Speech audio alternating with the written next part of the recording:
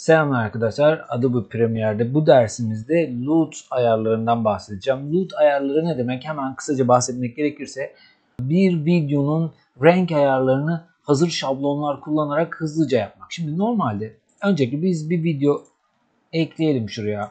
Gümüşlük videomu ekledim. Ee, şimdi normalde biz ne yaparız? Ee, renkleri çok beğenmediysek e, Lumetri Color'dan buradan renkleri ayarlayabiliyoruz değil mi? Şöyle açalım. Evet, tıkladığımızda şöyle değiştirebiliyoruz vesaire falan. E, fakat siz, çok profesyonel bir iş gerektiriyor bu ve saatlerinizi harcamanız gerekiyor. Tek tek bunları incelemeniz gerekiyor vesaire. Fakat siz hazır şablonlar kullanarak bunu otomatik olarak düzenleyebilirsiniz. Mesela e, look kısmına geldim. Hemen buradan hazır bakın Premiere'de e, 23 kullanıyorum bu arada.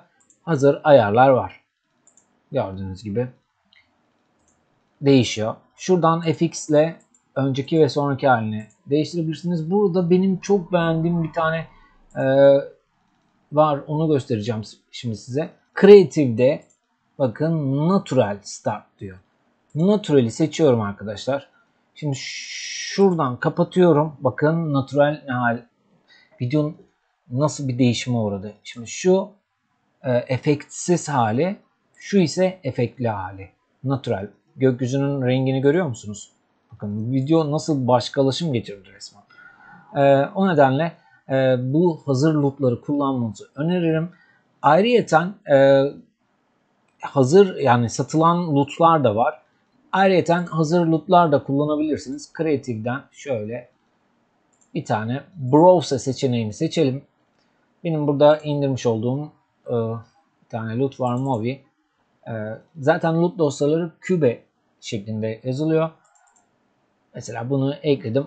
Adaptasyonmuş. Hemen şöyle değiştirebiliyor. Yani hazır beğendiğiniz e, lootları da kullanabilirsiniz. Bu şekilde Motion VFX sitesinde de hazır lootlar satılıyor. E, bunları da kullanabilirsiniz. Veya kendiniz Premiere'in hazır olan e, şablonlarından yararlanabilirsiniz. Bu dersimiz bu kadar. Bu da bir sonraki derste görüşmek üzere. Kendinize iyi bakın. Hoşçakalın.